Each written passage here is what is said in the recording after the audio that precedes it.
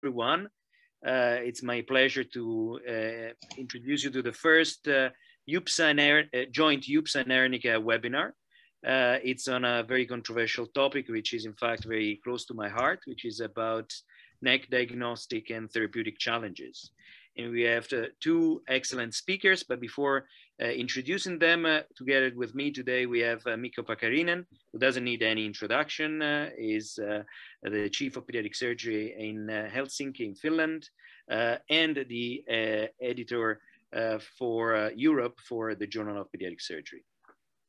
Um, we are going to have two speakers, uh, Jan Hulscher from uh, Groningen, the Netherlands, uh, and then Antti Koivusalo from Helsinki. so we'll start with Jan. Jan, as I said, is from Groningen. He will tell us about the Groningen experience uh, he's a consultant pediatric surgeon and professor of pediatric surgery uh, in uh, uh Groningen uh, in, in uh, the Netherlands, and in fact also the president of the Dutch Pediatric Surgical Association. Um, he uh, studied medicine and philosophy at the Free University of uh, Amsterdam.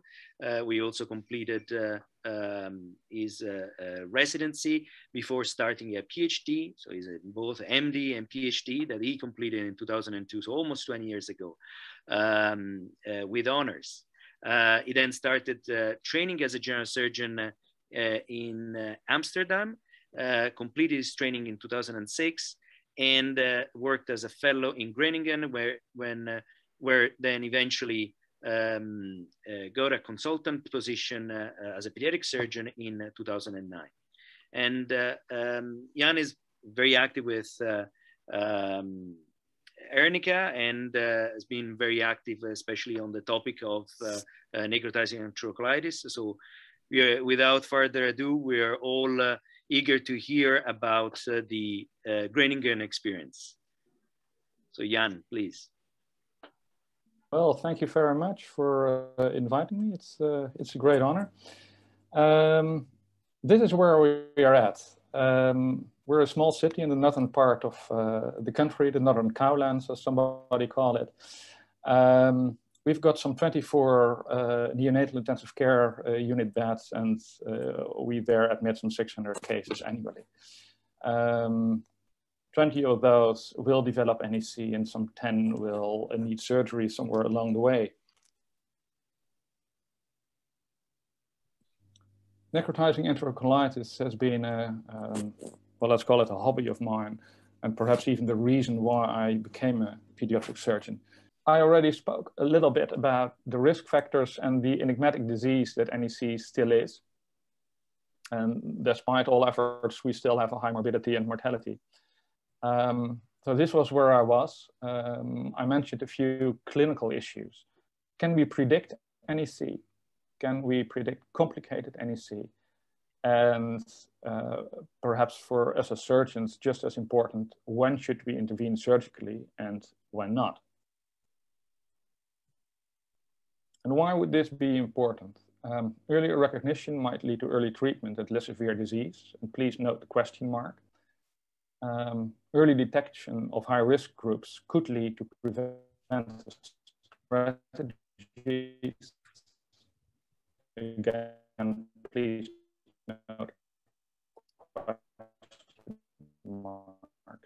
And all these studies um, this is a slide I, um, and at the left side, it depicts the healthy um, intestine with the villi, the enterocytes, the uh, tight junctions in between them, goblet cells, Paneth cells, and even some normal protective uh, bacteria. On the right, there's the NEC bowel. Um, the enterocytes are inflamed, the tight junctions uh, have loosened, there are bacteria that shouldn't be there. And there is the problem with um, perfusion. And when we take that into account, um, we can kind of categorize possible um, predictive and diagnostic markers. When we look at enterocyte damage, we can look, for instance, to intestinal fatty acid binding protein. When we look to inflammation in the immune system, we can look to fecal calprotectin. Perfusion can be measured using near-infrared spectroscopy. And of course, we can look into the feces to assess bacterial colonization. We probably are all familiar with uh, fecal calprotectin. It's a marker for gut wall inflammation, which is routinely used in IBD. It's non-invasive. And there have been some studies suggesting that it's a good marker for NEC in the acute stadium. However, these are only few studies with single measurements. So the use of fecal calprotectin in consecutive studies um, prior to NEC remains unknown. And the same holds true for intestinal uh, fatty acid binding protein. This is a very small protein which is located at the tips of the villi, uh, mostly of the small bowel, and it's almost immediately released into the systemic circulation when the villi are damaged. And the villi uh, are supposedly the first to be affected in NEC if they're most distally um, when seen from a vascular point of view. Within minutes, IFABs can be detected in urine, and therefore this is again a non-invasive marker for which commercial ELISAs are available. We've shown before that it's a good marker uh, to distinguish uncomplicated from complicated NEC. But as yet, there was little data, again, on the consecutive measurements to predict uh, NEC, so prior to symptoms. Um, to me, near-infrared spectroscopy is always a bit of science, uh, science fiction. Um, it measures tissue oxygenation via uh, spectroscopy uh, using the ratio between oxygenated and total hemoglobin. Um, it's multi-site, it can be used uh, on uh, several points of the body, for instance, uh, on the cerebrum as well as the abdomen, and it's continuous and it's non-invasive. In our hospital, it's routine care for all neonates admitted to our NICU.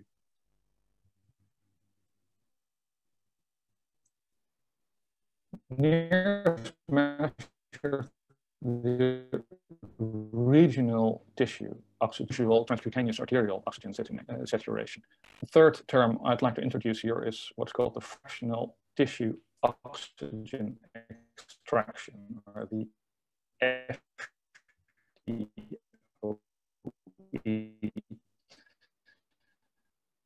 And that's the result of um, the uh, transcutaneous oxygen saturation minus the regional oxygen saturation. Um, and it's therefore important to know um, oxygen saturation will decrease. And, that, and this is important to realize when we see the graphs later on. So when we come to the results of uh, a larger um, prospective study we've performed a few years ago in high-risk neonates um, for NEC, um, we measured at several time points before uh, the disease, as of birth, before the disease, um, among other fecal calprotectin and uh, IFAB. Um, this slide shows the uh, results of the uh, fecal calprotectin. Um, these are the NEC cases, uh, some 10 uh, NEC cases matched to controls, similar gestational age, similar birth weight. And as you can see, there is no difference whatsoever between cases and controls prior to the clinical suspicion of NEC. Um, and then we hope that in the individual patient, we might see a rise in fecal calprotectin. But on the right hand of the slide, you can see that this is totally is going all over the place. There is no system whatsoever. So we have to uh, conclude that fecal calprotectin might not be a good marker for predicting NEC due to the large inter and intra-individual variation. And the same story holds true for IFAB. In the, sim the similar cohort, um, you see that there is no difference in IFAB uh, between cases and controls after birth. And this is prior to clinical suspicion, again, there is until 24 hours prior to the first symptoms, there are no differences between cases and controls, and only after suspicion marker to detect uh, the development of NEC prior to symptoms. Um, again, there's a wide variation, which is most prominent in the most premature infants, most premature infants. Um, and while we can discard it, as far as I'm concerned, for screening for NEC, but it might still be a good marker for advanced disease. Um, but there is a little bit of hope. Um, these are the results of the near infrared spectroscopy, and then something remarkable uh, appears. And I put it in red, because in children who develop NEC, the cerebral uh, oxygen saturation is lower in the first measurements, that is almost right after birth, when compared to children who do not develop NEC. And this is quite a large odds ratio. In other words, apparently there is some sort of systemic event, not yet uh, identified, um, that leads to a decreased cerebral oxygenation in children who later go on to develop NEC. And also, a few, a few days actually prior to um, development of symptoms, there is a higher intestinal um, FTOE, again suggesting a decreased um, perfusion of the bowel. And this is already visible two days prior to NEC onset.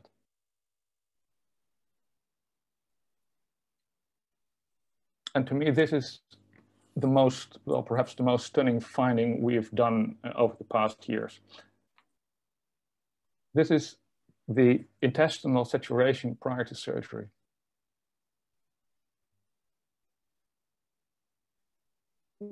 These survivors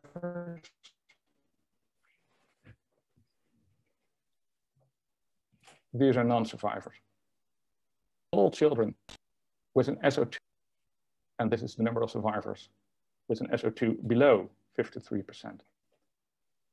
In other words, it might be possible to use NIRS um, as a predictor for survival after surgery. This is a small case series. This is 11 cases versus 11 controls. Yet this difference is highly significant. And if we could confirm this in a larger finding, we might actually have something to guide us in counseling parents towards the choice to go to the theater or to redirect to comfort care.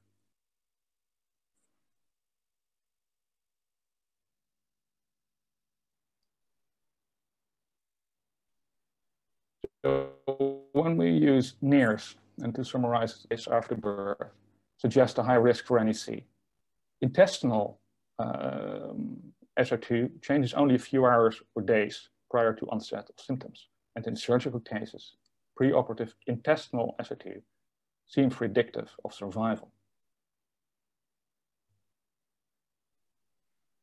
The good thing about having continuous NIRS um, on your babies is that you sometimes find something you weren't actually looking for. This is what happens after feeding.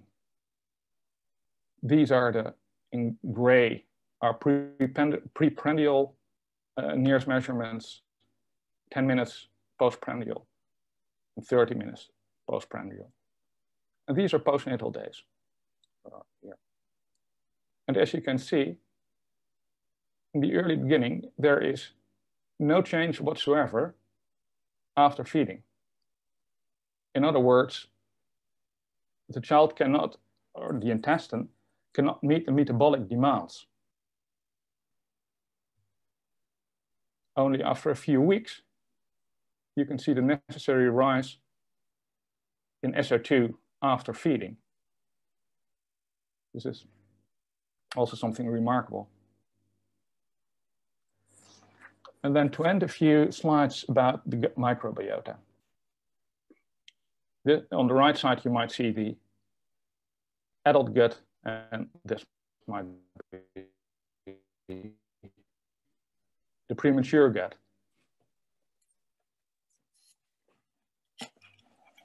in the same study, um, we checked the fecal we used several time points, meconium, the second last sample prior to NEC and the last sample prior to NEC. And I'm not a microbiologist, but I don't need to be a, micro to be a microbiologist to see that this is completely different from this. And this is the meconium. So obviously, in, already in the meconium, there is an NEC-associated microbiota.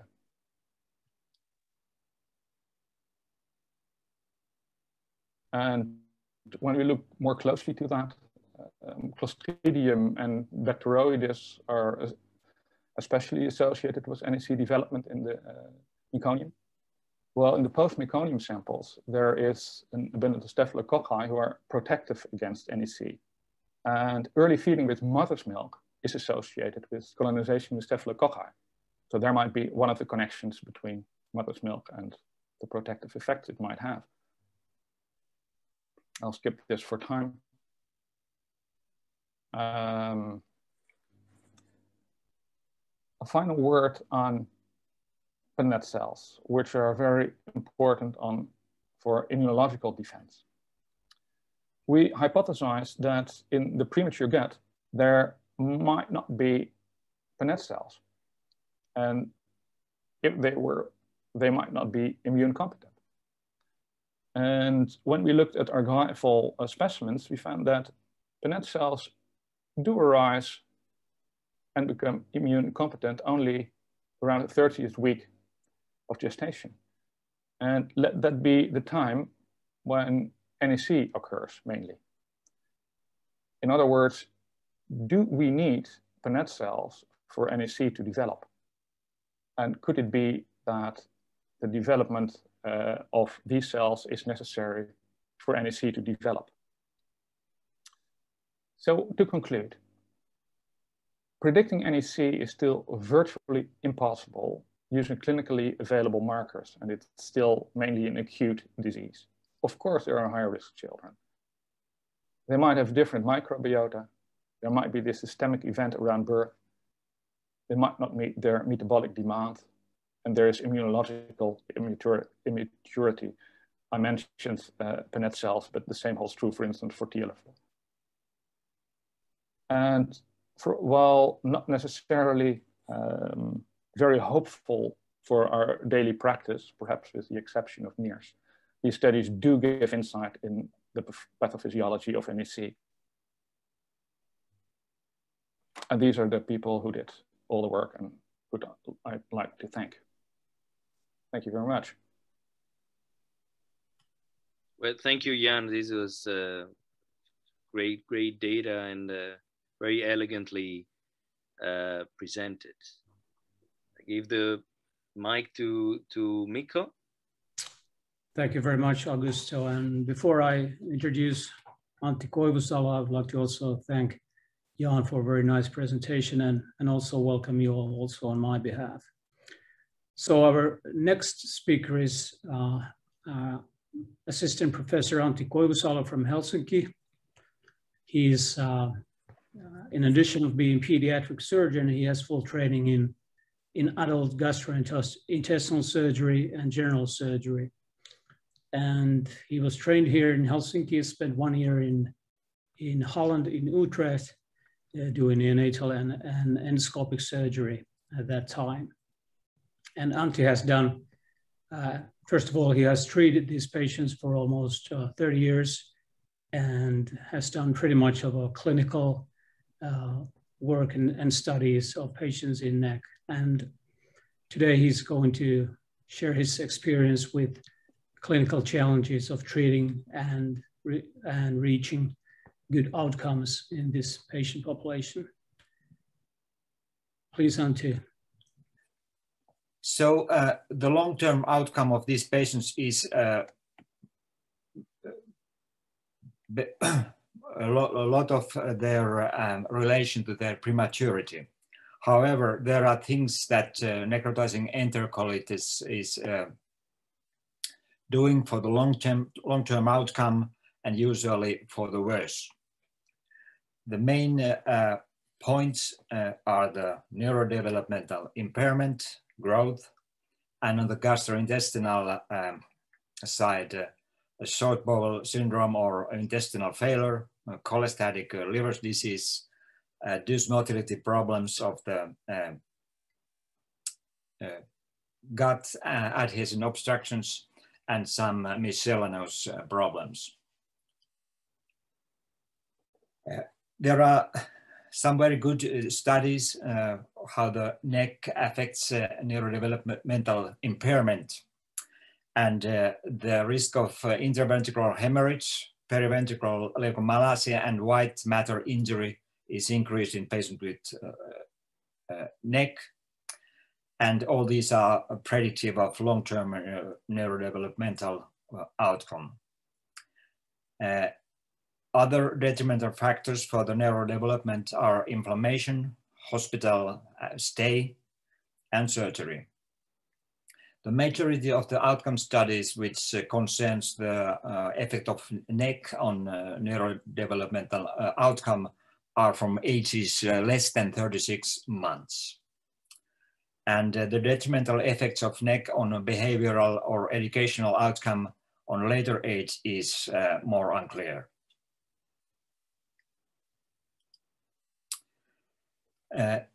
a study made in Texas with the Medicaid uh,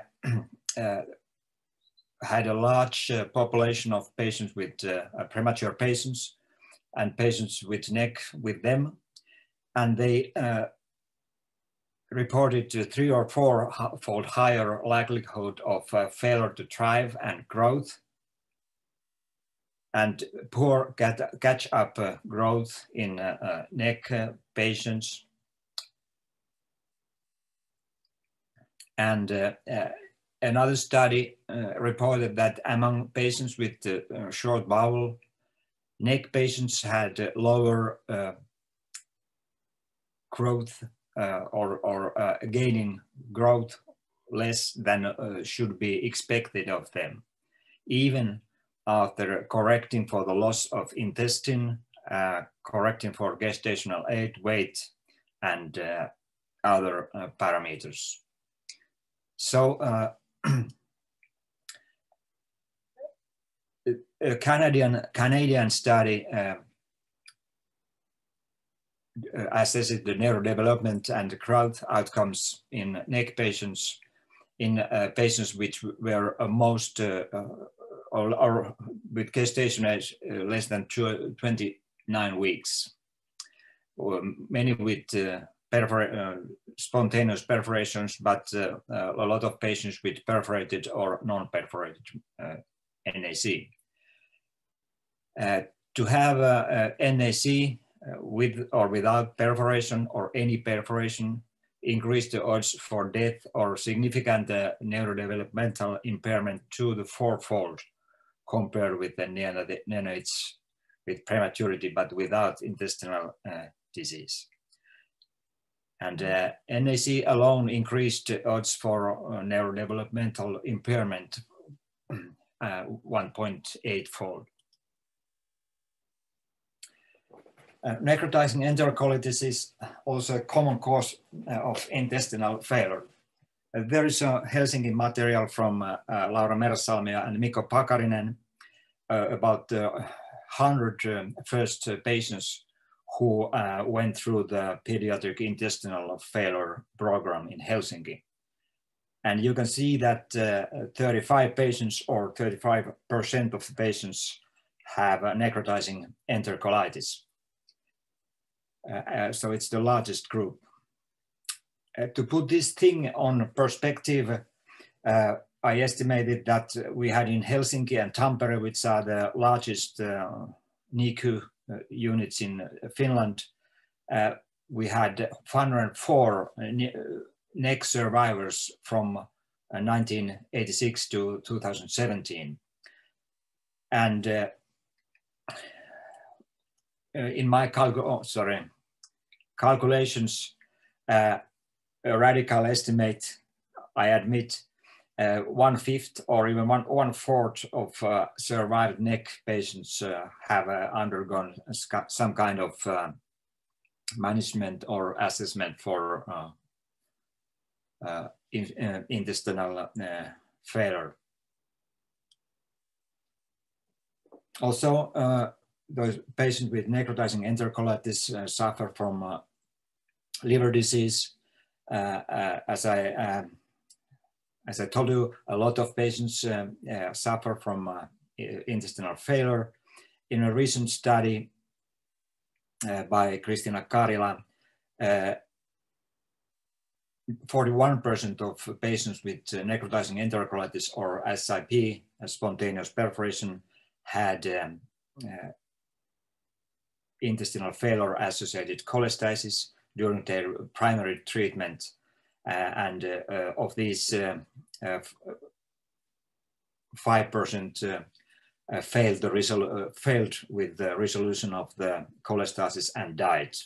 But even then, 36% of the patients survived with the liver disease. And okay, again, there is uh, um, statistics uh, from Annika Mutanen and Mikko Pakarinen uh, uh, prediction, identification and progression of histopathologic disease activity in children with intestinal failure. And again, the blue uh, part of the of the uh, of this uh, uh, gr graph shows that how many of these patients are are have the etiology of NEC uh, for their liver disease, which may um, have effects on late uh, childhood, many years.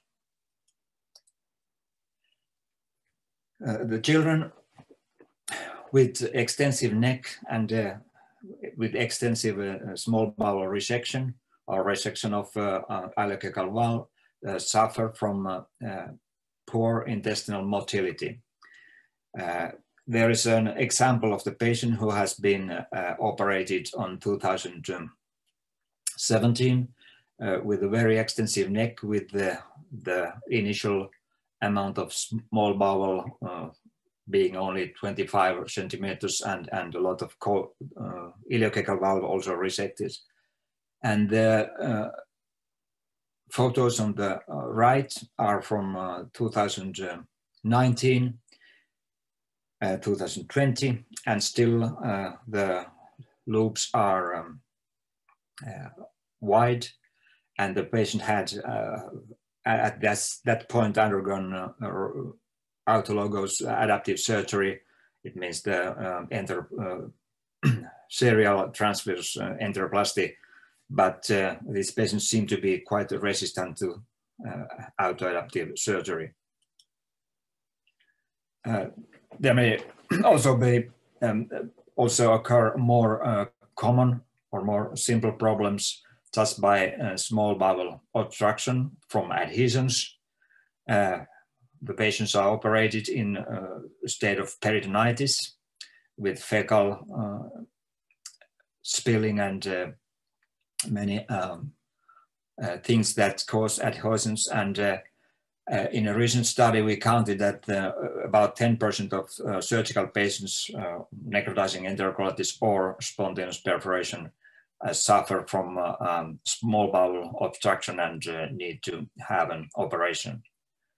Also, between 10 to 30% of the patients undergo um, endoscopic assessment of various problems, for example, jejunocolic anastomotic ulcer, which may um, cause further operations or assessments. What about uh, the general quality of life of uh, uh, patients with necrotizing enterocolitis? Of course, a lot of uh, the quality of life is, is uh, worsened by uh, the prematurity and associated factors.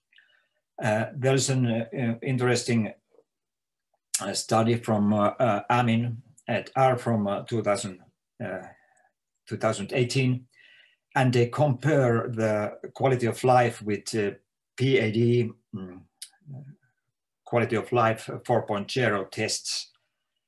And uh, it's interesting that um, all the uh, common neonatal disease, NEC, uh, congenital diaphragm hernia, gastroschisis, uh, esophageal atresia, Hirschsprung disease and omphalocele. Uh, patients with NEC uh, score the worst uh, numbers in all uh, all measurements um, in physical from the left, in psychosocial points, and in total points. And if you can see that uh, the upper red uh, straight line uh, is normal quality of life and that one under that means chronic chronic illness so this speaks uh, not so well about the quality of life of these patients. Of course, there was not, not that many of uh, NEC patients uh, in this study, only 23, and the median age was uh, four years. However, these were uh, patients who had not uh, Uh, intestinal failure or uh, small bowel, short, uh, sorry, short, short bowel syndrome. There is uh, uh, many other uh, things which are more bizarre. I just chose this one, which you, you usually don't think so much but uh, uh, study by Berdett uh, in Journal of Pediatric Surgery 2013 showed that, um, well, in effect, these patients who have NEC undergo so much radiologic imaging that the radiation can uh, be a cancer risk in later life. Well, this is one of the more bizarre uh, long-term outcomes.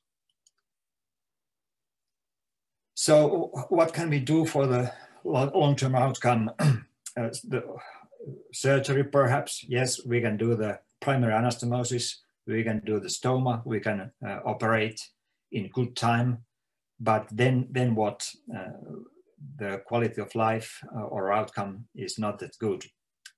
Can we do something to prevent uh, that the patient don't get an necrotizing enterocolitis uh, there was a Canadian study in 2020 when they uh, made key practice changes in uh, neonatal intestinal, intensive care units uh, about central venous lines, transfusions, respiratory management, feeding, use of oxygen, neurologic injury prevention. And uh, uh, they um, got very good results. Uh, the, they increased the rate of, rate of patients discharged without any morbidity and survival. But about uh, necrotizing enterocolitis, the result was a kind of anticlimax. It, uh, the uh, in, incidence dropped only from 4.8 to 4%. Of course, that was statistically uh, significant. I think the uh, big challenge is that if we see the uh, patients with NEC uh, in Helsinki, 1986 to 2020, we can't really see, we can't really see that, uh, that what should be done. I think that the pediatricians have uh, tried all these tricks many years, very good uh, quality of the, the management and so on, but still there are years completely without NEC cases and then years when there are several, almost 10. So I don't know, uh, maybe these measures uh, have some effect, but maybe not. Well, uh, I took also one slide with this this uh, terrorist bomb uh, explosions, which uh, uh, which is uh, describing NEC, and maybe the reason will really be there that um, some group of of, of um, researchers may invent just another um, agent by adding this for the feeding or or for the babies will, uh, will uh, limit the extent of NEC. There was a recent uh, paper with Ko at, at, and the others, and they um, found that low levels of IL-37 was bad and uh, increased intestinal damage in mice. and by administration, IL-37 um, that protect the bowel in mice. Thank you. Thank, thank you very much for the for the presentations, both of you. There's uh, we have uh, people that are following us uh, from uh, all over the world, from the Philippines, uh, from uh, Greece, from Bangladesh. so it's definitely we are beyond the borders of Europe. Um, both of you uh, of course, we talked about biomarkers, especially Jan in, the, in his first presentation. There's been a lot of work uh, on uh, um, biomarkers uh, of bowel damage to predict uh, the, the, the development of NEC or to tell us about the, the degree and the severity of the intestinal damage. Um, it's uh, um, something that we are looking at now is we, we all more and more um, um, familiar with the concept that uh, NEC is not just a disease of the intestine. Uh, it affects uh, other organs. There's this cytokine storm that uh, definitely affects also the brain.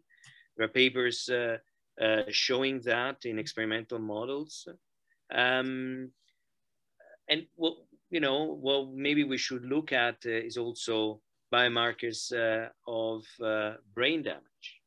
Um, in the ones that already have established NEC, uh, markers that can maybe help us manage these babies medically or surgically. That if a baby has, of course, a free air, you would go to the UR or you would put a drain.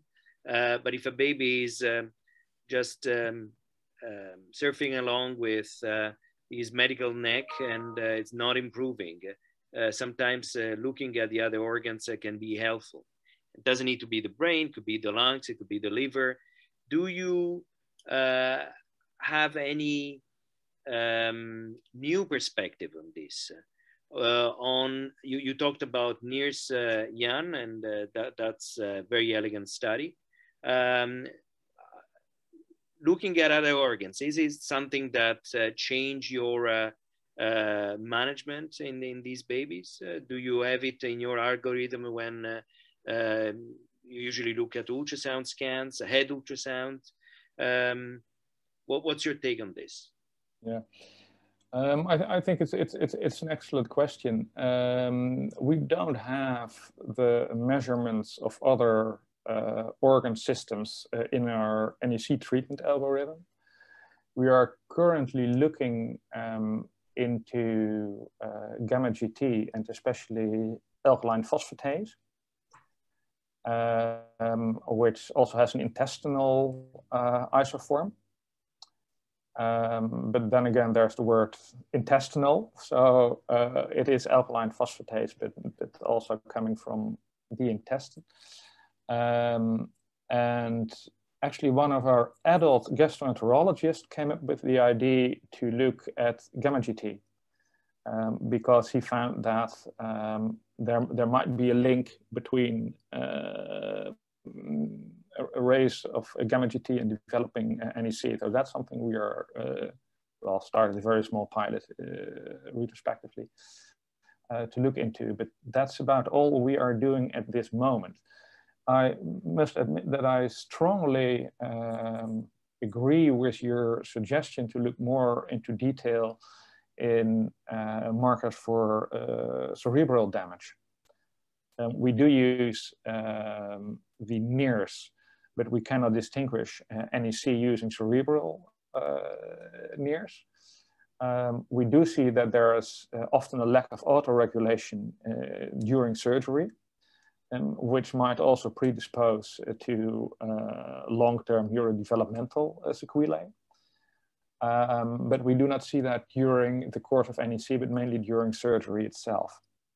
Um, but looking into uh, biomarkers for brain damage, I think it, it's, it's, it's an excellent suggestion.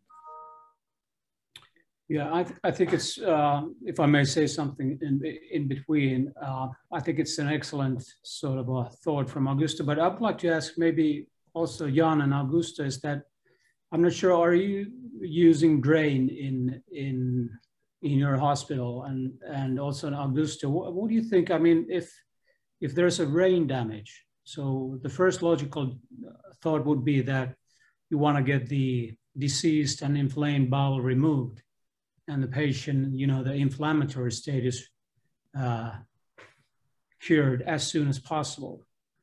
And I, I'm just thinking that if you use the drain, you don't heal the patient as rapidly.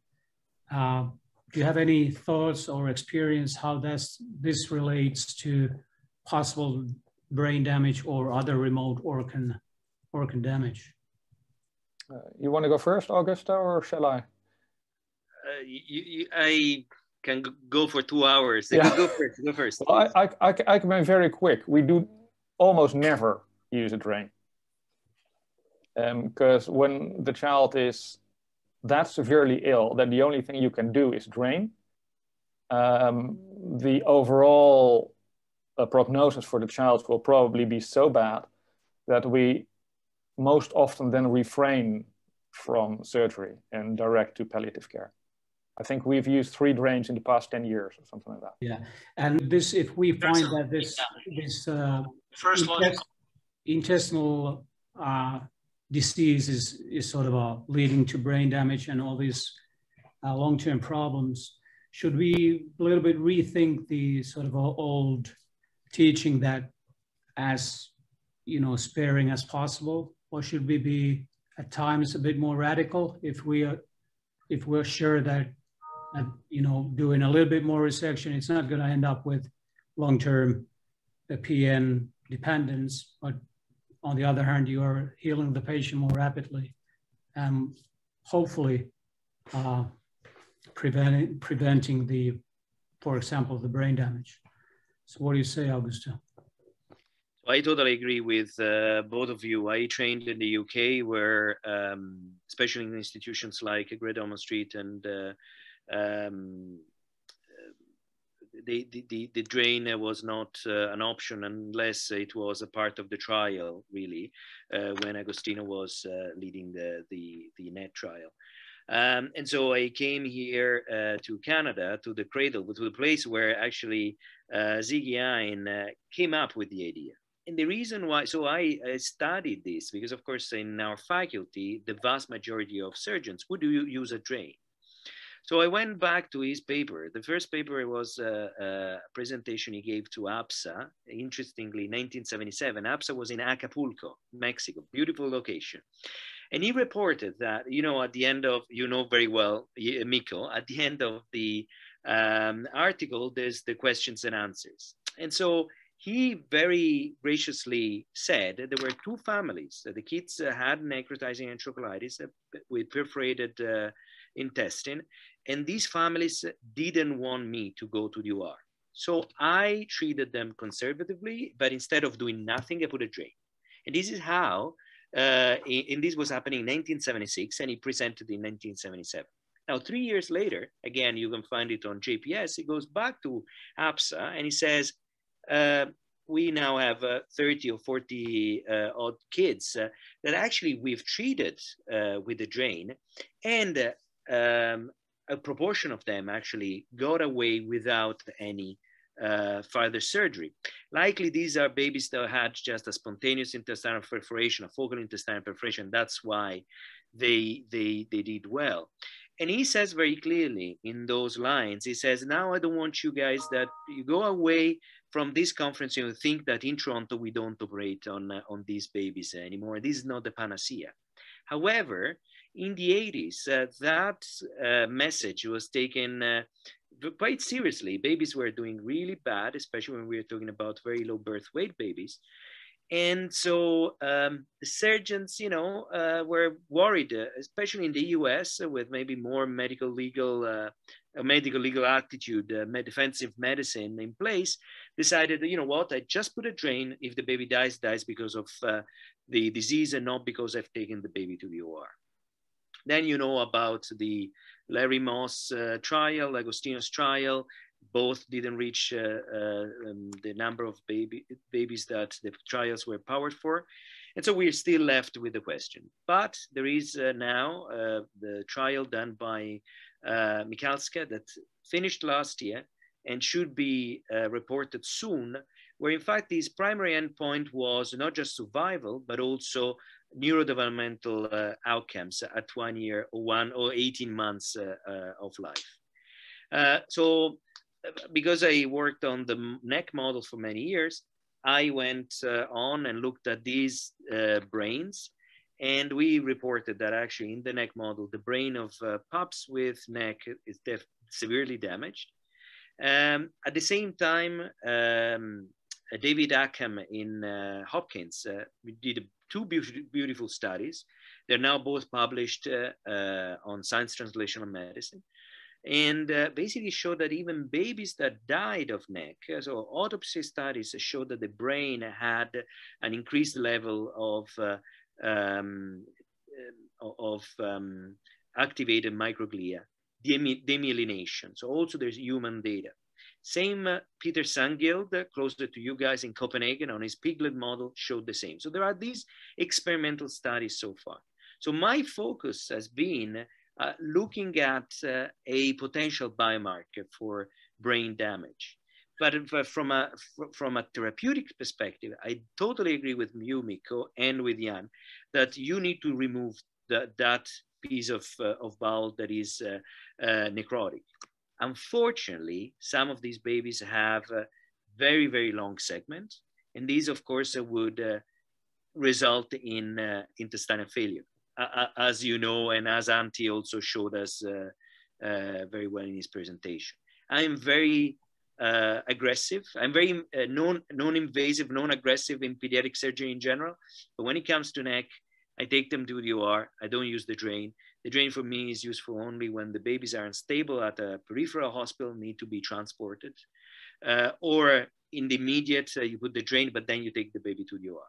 So this is how I do. But there are colleagues of mine that instead use the drain. And again, there is no evidence to say that one is better than the other. And I think maybe the evidence doesn't come from the intestine, but comes from the other organs, the lung, the brain that actually are affected because we leave the necrotic bowel inside the belly. Yeah. Did you want wanted to add something, Jan or Antti? Well, uh, I bumped in an American um, study, and they uh, also pointed things that how to um, improve the outcome in the uh, necrotizing enterocolitis in, in very small babies with, uh, with um, less than one kilo on that region. And actually their one, their one uh, finding, their, one of their findings was that uh, by increasing the use of the drain, they could uh, improve the survival on their uh, their babies. However, the, again the improvement was very spectacular. It was uh, from uh, from 65% survival to 68, but in, in those settings, it was uh, statistically uh, significant. However, they at, at least uh, recommended that, that it should be used. I have never used it. I've never seen a situation in our NICU that that uh, we should think about the the drain. Uh, all the, perhaps all the patients had been in in good enough condition for the operation, so yeah. Uh, the experience is very very limited on drains. And, and you know, I think it should be sort of pointed out that at the although you, you showed the intestinal failure figures within within NEC patients that although they they are uh, many of the, the pediatric intestinal failure patients ha have NEC as a etiology, but in the end of the day, most of them, if not all, are able to win off PN. And I I'm not I'm not sure if I recall correctly, but I think that in our in, in, the, in the NEC population that we have treated from the beginning in Helsinki, are there any of them which were uh, permanently PN dependent or very few? How... Those uh, 100 patients which, which you yourself have. Yeah, yeah, but many of them, they were, they yeah. were coming, they weren't all oh, yeah, yeah, yeah all, all over the country. Yeah. but I, I, I don't know whether whether the weaning in NEC is is uh, uh, any any worse than in other diagnoses. It's it's much better. Yeah. Because in, in all the in our material in and in different uh, uh, materials of other people, it's it's always the same finding that those patients who have etiologies NEC, they are much more likely to win off PN. So, you know, like I, I want to again say that I, I'm not suggesting that you should do two radical resections, but the resections, in my point of view, should be radical enough to to cure cure the patient and and maybe because things have changed in in 10 20 years the outlook of intestinal failure is much different altogether than it used to be so maybe at least for uh, a bit older people there might be a sort of a we we need to change a little bit the, the way we look at these things. So another, I think another very controversial issue, obviously, is that should one do a stoma or, or primary anastomosis? So what's your view, Jan, on this? Yeah, you, you perhaps you, you could see me start smiling. um, I tend to refrain from uh, constructive ostomies whenever it's possible um, we, we actually did two studies. One showed that uh, um, the construction of an ostomy, is, especially in the smaller children, um, is wrought with complications.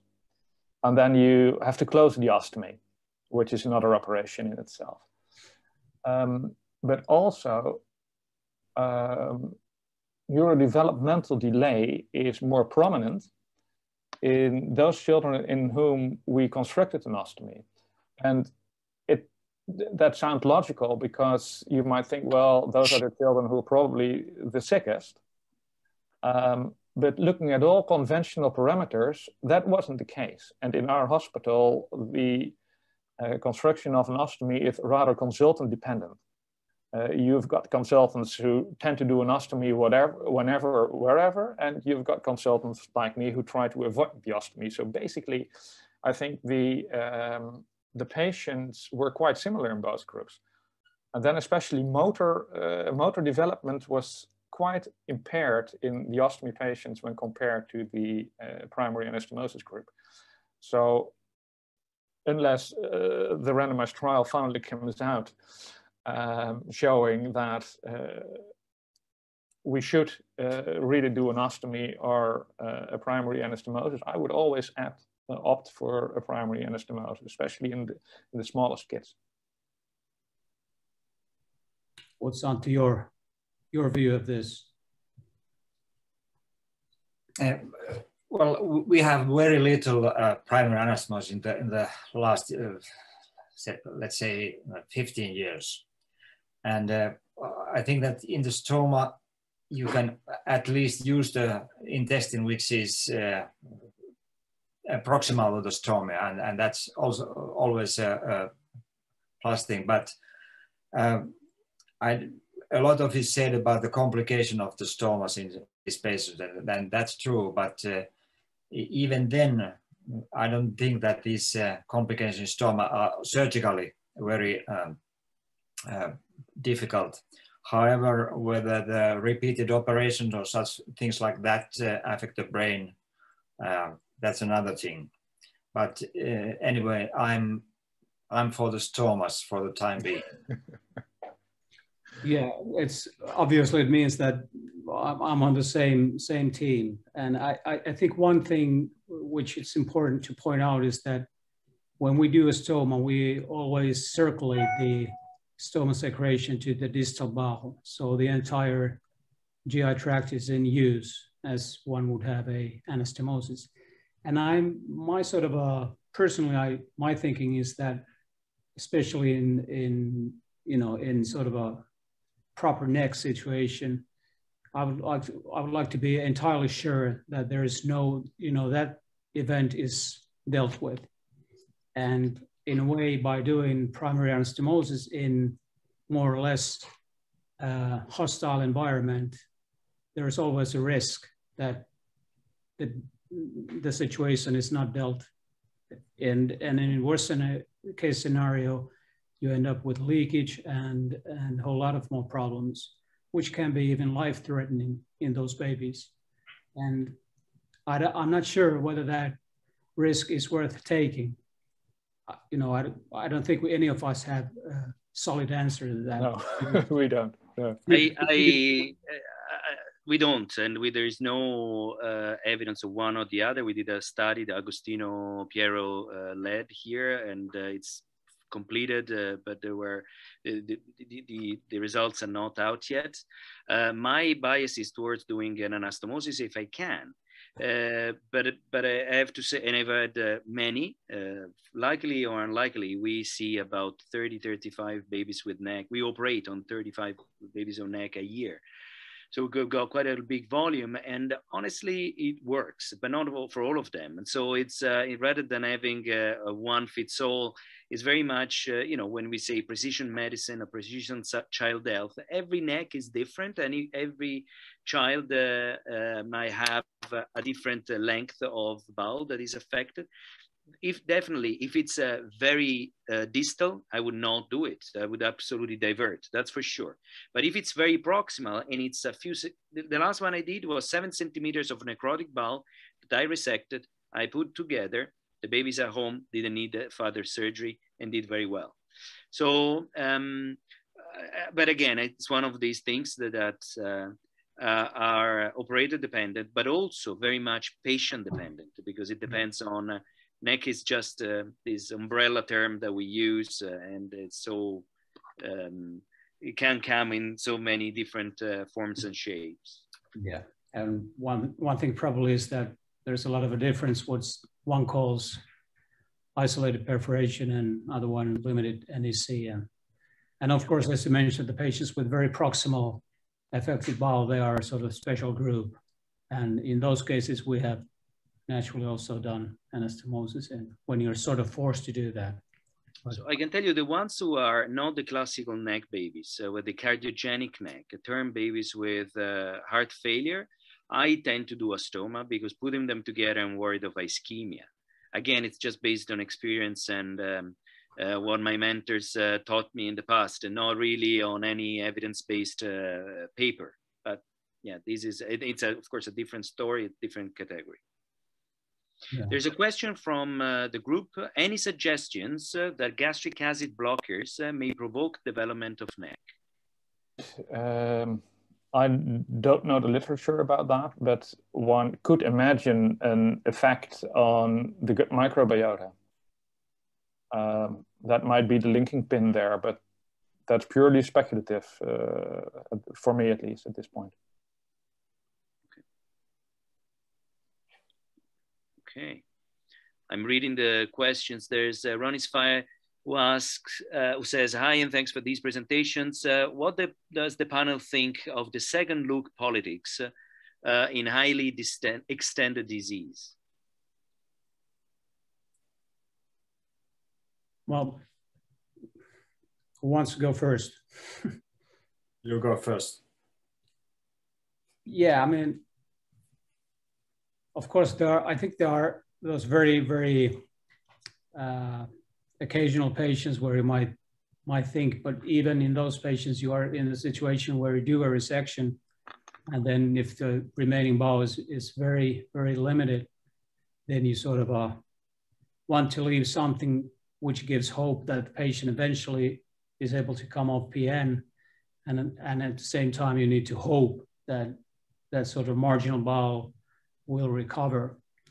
And we have done that very, very uh, selectively. And, and, and I think the main issue is that if you do that, you need to go back uh, quite early again to see how things are. And then there was a, uh, I think it was a few years ago in JPS in paper where they presented this kind of a damage control surgery in NEC where they sort of, in a planned way, uh, used a second look and sort of, in a first operation, just rapidly remove the uh, diseased bowel and, and clip the ends of the remaining bowel and, and sort of uh, routinely uh, did a temporary closure and went back next day. Their results were pretty good, but I think that if you do it for every patient, you, you will end up having the similar results, more or less whatever do.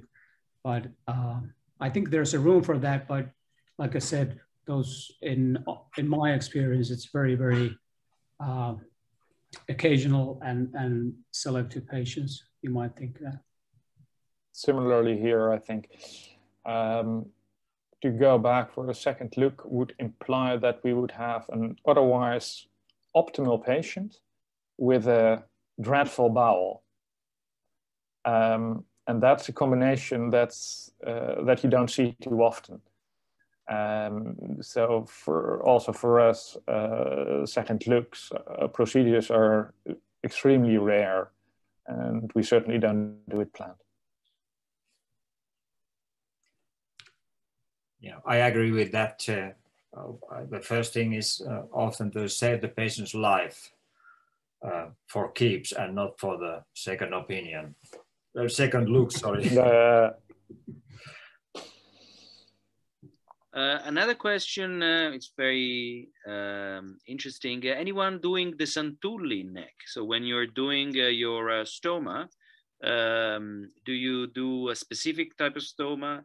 Um, um, no, we usually uh, do uh, say that is a small bowel ostomy. The uh, the ostomy comes out uh, right lower quadrant whenever possible, and we leave the mucus fistula uh, often in the wound whenever possible.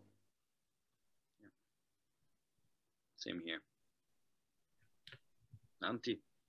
Yeah, we uh, we even put the both uh, end, ends of the stoma in the in the wound just to save the abdominal uh, parieto and uh, just contract the stoma that you can feed the efferent stoma with with feces properly and uh, yeah. What, what, yeah we haven't we haven't used Santulli for for many years but there was a period in Helsinki that it was used in and you probably want to have uh, details in your mind about the results of those. I'm not sure. Yeah, we had to do. Uh, there was actually there was 11 uh, of these patients, and uh, we had to do uh, I, half of them again because they didn't uh, function as as they, it, it was planned and there was problem with the with the anastomosis, which was uh, uh, in the abdominal cavity, in the patient. So we, in in all quiet, we we abandon this. Uh, but it it maybe work in a secondary um, procedure, maybe, but uh, maybe not in an acute situation. Yeah, and if I if I may add one thing is that it may have a place in those patients who develop severe dysmotility after severe NEC.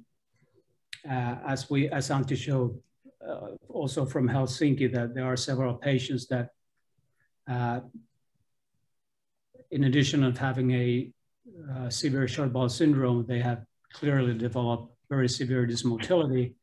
And after reconnecting of bowel continuity, uh, we were able, unable to increase the feeds as, as wished.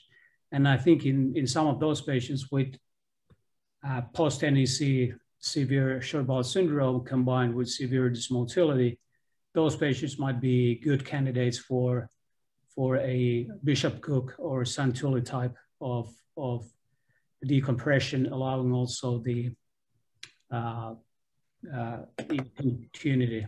And, but those are very, very selective patients. Um, I think actually I can ask this question to Mikko. Um, and this question, we can always recycle the content of the proximal stoma to the uh, distal stoma. Can you do always do that when you have a stoma? Basically, yes. I mean, we usually started uh, usually five, seven days after the operation once the stomas have uh, healed enough and usually started by surgeon, you know, the first insertion of catheter and and uh, it's it's not usually a problem. Of course, there are sometimes uh, a little bit of a issues to get it started with, especially with the babies where the uh, distal stoma is very close to ileocecal valve, where the catheter might might sort of stop in in the in the valve. But I, in the end of the day, I, I guess we have been able to recycle it in, in virtually every single patient. Okay. And and we do it as you know, nurses do it. They begin a couple or three times a day and gradually increase it, and and the sort of goal is to to recycle everything question comes from uh, Spain and it's about NIRS. Um, hold on a second, I've just lost it. Um, so do you recommend routine NIRS on high risk babies? If so, where do you place the NIRS detector? Um, we actually place, uh, well, the answer is yes. Um, we place two NIRS detectors, uh, one uh, here, cerebral, and the other one abdominal. Um, in the smallest kids, we're always struggling with the umbilical catheter, which has to be, uh, well, uh, put up uh, differently. Uh, we, we really try to put it on the intestine. That's not on the, uh, on the liver or, on the kidney, which is also done. But we really try to uh, measure the, the true intestinal. we put it really on the middle of the abdomen. Okay, that's it's good.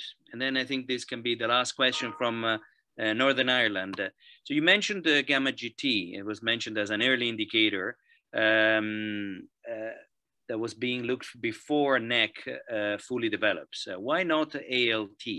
I always notice that the ALT starts to increase as, as the bowel gets sad. Um, this is from Colette Donnelly from uh, Belfast. Yeah. Um, we never mention, we almost never measure ALT routinely, um, especially not during uh, early phases. But I can imagine that there is something of a uh, gut liver axis uh, at work, which might also uh, increase uh, ALT. But uh, perhaps Mikko or Antti, you'd like to add to that?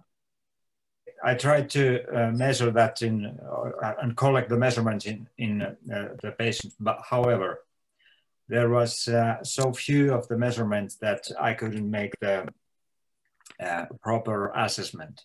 However, they the uh, I made a scattergram of the that biomarker, and it was it, it didn't show me anything, but it was only from 11 patients. So probably it's not useful. Okay. Well, I think we can conclude. It was a fantastic uh, discussion, and uh, for uh, we always come out of this, uh, especially when we talk about necrotizing enterocolitis, with more questions than answers. Uh, everyone has their own perspectives, their own biases, uh, but it's it, for me this is fascinating. I always learn a lot, so I really thank you all for participating and giving us your uh, your take on uh, on this uh, condition. we had people from a lot of people from the from Asia, from Kashmir, Pakistan, Sri Lanka, Philippines, of course from Europe, from North America. It's it's, it definitely. Um, um, great to see that EUPSA has definitely gone beyond the border of, of Europe and is a leader in uh, um, uh, as an association uh, for the treatment of these babies and kids with surgical pathologies. Mikko, do you want to say a few words? Yeah, I just want to thank thank the speakers and, and, and all the good questions, and also add that besides EUPSA Ernica too. Sorry. yes. I'm, I'm in Canada. That's why and I'm really sorry about that. I said it at the very beginning. This is a joint EUPSA and Ernica yeah. meeting. You know, Ernica is a great uh, um, adventure. Can I say that? Uh, that started not very long ago, and I'm only hearing uh, it's the, really definitely the way to go to answer these questions. Yeah. Well, thank you very much, all of you, for for participating, and thank you, Gaia, for making this uh, happen as usual. Okay. Next one. Thanks. Bye. Bye. See you next time. Bye-bye. Bye. Bye.